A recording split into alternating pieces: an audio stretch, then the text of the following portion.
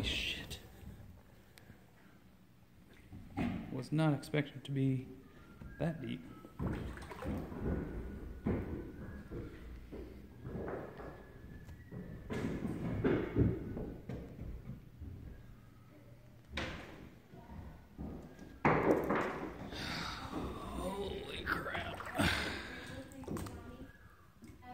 I don't know. I wear a size 11 shoe.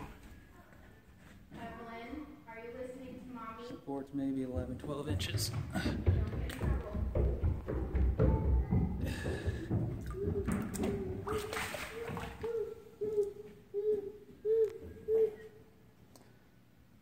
It is August 3rd, right?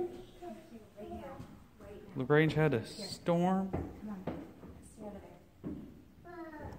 and we've got 12 inches of water in our basement.